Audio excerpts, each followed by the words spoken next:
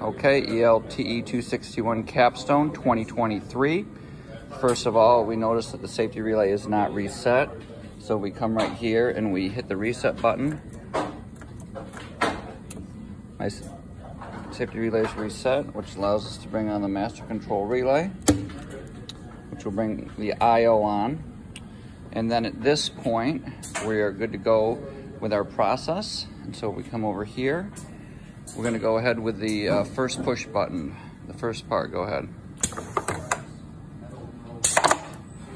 Coming down, it says right there, metal no hole, yep. Going with the next part. Hit the green. It's got exactly four seconds to get where it needs to go. And that was the no hole, no metal. Next one.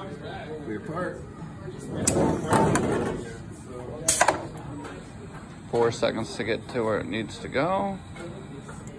Okay, and then finally, part. And start. one, two, three, about four seconds. Okay, and then it says it's done. What we're gonna go here is we're gonna go ahead and clear that. And we're gonna go, we're gonna reset the counter. Let's just go into manual mode and jog some of the components here real quick because we wanted to test something. So you can jog the conveyor forward, right? Yep. Okay. And if you had another part here, you could actuate the cylinder just by pushing that, right? Go ahead. All right. Um, so other than that, it looks pretty good. A little bit messy on the wiring because we just haven't cleaned it up yet. Uh, but we get the get the gist. Good job, team.